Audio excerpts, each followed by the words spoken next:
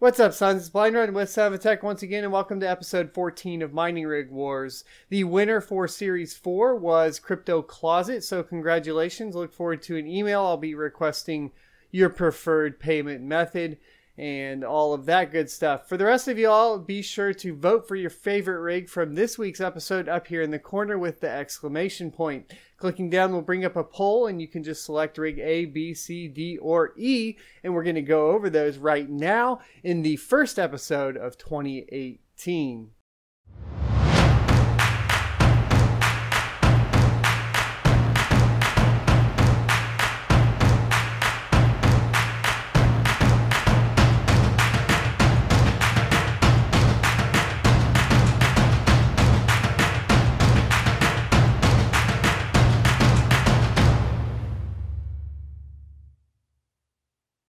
Welcome back. The first rig is Rig A GTX 7 by Moses. We got seven EVGA GTX 1060 Super Super clocks. We have a single RX 1000X Corsair power supply running on an Asus Z170 Pro motherboard with 4GB of DDR4, a Celeron G3900, and he's running the T module risers. I'm not sure what version though. And his total hash rate is 165 mega hash a second with dual mining DCR at 5.88 gigahash a second. The reason I have to mention that is he is obviously running it in a dual mining kind of environment, meaning that that's going to affect the Ethereum hash rate. Next, we have Rig B Bunny by Nilesh. He's rocking the Gigabyte H110 D3A motherboard. I've been seeing those a little bit more just because they're available. Uh, with the GeForce GTX 1066 gigabyte with Hynix memory from Gigabyte, a Samsung SSD 128 gigabyte uh, solid state drive, obviously redundant there.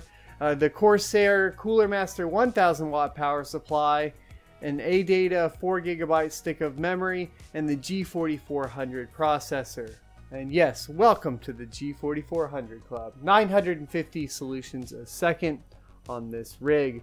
Looks like he has three of those GTX 1060s, by the way. Next, we have Rig C Silent Killer by Mark. He is rocking the ASRock H81 Pro BTC motherboard with two MSI RX 580 Gaming X GPUs and one Asus GTX 1070 overclocked edition, an Intel Celeron G1820T processor, 8GB of DDR3, and a 240 gigabyte solid state drive from SanDisk. He has two Seasonic Platinum power supplies, Platinum 520s that is, and he's got four Noctua NFS 12A uh, fans, 120 millimeter, and he's running Windows 10 Pro, and he's using Claymore to mine at 90 mega hash a second.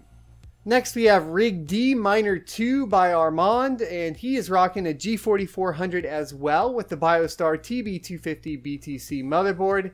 He's got 4 gigabytes of memory from Kingston and a WD Green 128 gigabyte solid state drive with a Corsair RM1000X power supply and six Asus Strix RX 570s, the 4 gigabyte models with 166 mega hash a second. He did send over quite a few other rigs. I tried to pick one that I felt had the clearest pictures, etc. I know that going over some of the big uh, mining farms is cool, but when we only have the rest of these rigs as single rigs, I didn't feel like throwing in an entire farm here. Finally, we have Rig E Othello by Alan. He's rocking the Thermaltake Core P5 case. I have one right over here, but I have my gaming rig in it with modifications. And yes, I would say there's some modifications going on there. Uh, he's rocking the EVGA 1600 watt T2 titanium power supply, an ASRock H110 Pro BTC plus motherboard, and 13 EVGA GTX 1060 superclocked 6 gigabyte cards. And he's got an HDMI dummy plug for headless operation. Of course, that means that he's just using the dummy plug to go ahead and get a screen output for remote management is what I would assume there. He's got the Netgear HS110 smart plug for monitoring and he's rocking EthOS. uh, version 1.2.5, which that may have changed with him, with a whopping 301 mega hash a second. All right, so let's go back through these. Alan, crazy setup here. This is nuts. I would like to see like all of the mounting behind it. The two pictures you sent didn't really show how you're getting those to like stay mounted. I'd be super curious to see that. Also 1600 watts with 13 EVGA GTX 1060s. I, I guess, yeah, that's probably actually fine because you only need, well, maybe 100 short, but not really if you got it all clocked in, etc., which I'm sure you do. Curious why you are only using EthOS because EthOS is going to lock you down to Ethereum, of course, now, or Ethereum algos. So maybe check out using something like SMOS and open your open yourself up to some Equihash. Come help us out on BTCZ at coins.sonofatech.com. Self say shameless self promotion. Shameless. Shameless. Rig D I love the RX 570s in here. Six of them. I'm jelly because I can't really get them for a decent price back in the day when you could get them for $165. Those were the good days. Nevertheless, the hash rate is is super impressive if you got those at retail, of course. Uh, if you overpaid, it depends on how much you overpaid, of course. Uh, what rig are you running? Is that just custom angle aluminum that you went and picked up from the hardware store? Or did you buy a frame on the interwebs? Rig C Silent Killer. I'm not sure what's so silent about this rig. Other than are those silent fans by Noctua? Or it's the Silent Killer, so you're killing silence, which would make more sense for a mining rig. That's what I'm going with there. It looks like you have some work to do to fill out the rest of the rig. And you have enough room, of course, as well, with that ASRock H81 being your motherboard. So you got a good starting platform here, which is awesome. I think you have a lot of room to expand and, of course, increase your hash rate as you move along. I'm curious, are you going to kind of move into splitting AMD and NVIDIA rigs, I, I found that that's a little bit more reliable. But of course, while you're filling it out right now, I guess you're just to have to pick up what you got to pick up. Claymore's the easiest for using AMD and NVIDIA together on Windows 10. I don't know of really any other options that work as as well as that. Any other operating systems? If you guys know, leave it in the comment section below so we can all help each other out. Rig B Bunny is a is a great name, and I love the custom, I guess, wall mounted rack here, wall mounted GPU enclosure. Uh, the exhaust fan I think I can see up there makes a little bit of sense to me, so I think, or makes good sense to me. I'm not sure exactly what that is. Can we get like the part number or what you used there for that exhaust system you got going on there? And you as well have uh, plenty of options to go ahead and expand. You have three uh, 1060s currently on a board that should support up to six no problem. Maybe even more with some expansions.